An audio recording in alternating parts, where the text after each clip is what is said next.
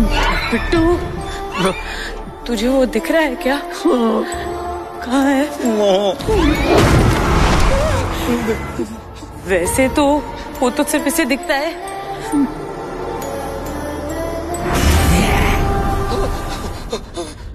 पर अब आपको भी दिखेगा। वो आ रहा है थिएटर्स के बाद सीधा टीवी पर। सीधे टीवी पर। मुंशिया चौबीस अगस्त रात आठ बजे